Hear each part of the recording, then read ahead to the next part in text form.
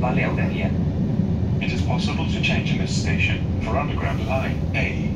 The Underground Line A closes at 9 p.m. from Sunday to Thursday. The service is replaced by bus up to 11.30